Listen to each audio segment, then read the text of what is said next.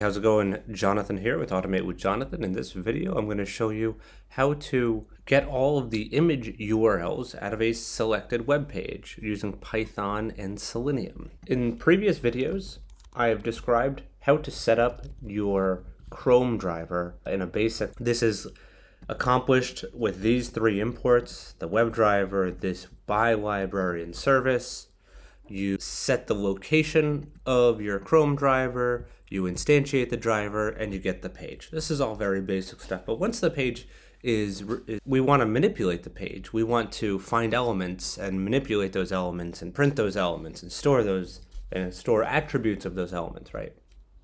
So that's where this tutorial comes in. So let's start.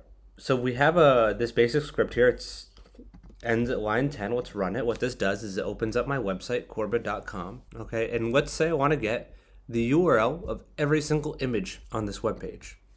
Well, to do that, I would do list images equals driver dot find elements by equals by dot tag name. This is the critical part. So make sure it says by equals by dot tag name. That allows us to do this part where we pass in the tag name of so now what this will do is it will retrieve every element with the image tag in it. Now once we have all of those elements, we want to iterate over them.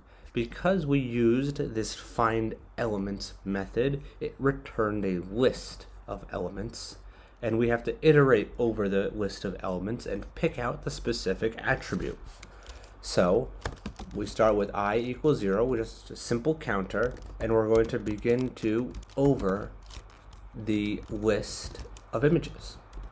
And so we do while i is less than the length of the list of images, we print list of images of i dot get attribute, and the attribute we want to get is the src attribute.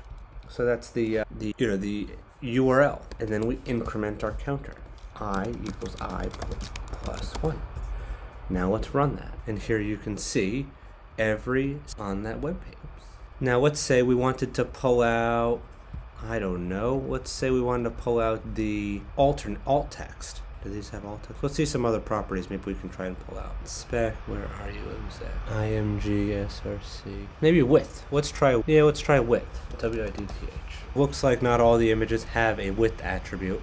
So what you would probably end up doing is wrapping that in a try-catch block so it doesn't error and it continues on. But so here are all the of the images that have width. So it's another thing you have to account for is that maybe the attribute that you're selecting doesn't have all of the or the you know the image doesn't might not necessarily have that attribute so you have to wrap it in a try catch block so you don't have this error. But yeah what else? What, let's see some other stuff. I don't know maybe class. Let's see what kind of class names are on these images? So there are all the class names. This is really good if, if you're managing a website and you want to automate you know some things it's just a really great way to to access the information of that website so I hope that helped. If you got anything out of this video, please hit the like button, consider subscribing. I'm always uh, trying to improve these videos. I just started this channel, and I think the videos are going to get a lot better and better. So thank you so much for watching. Have a great day.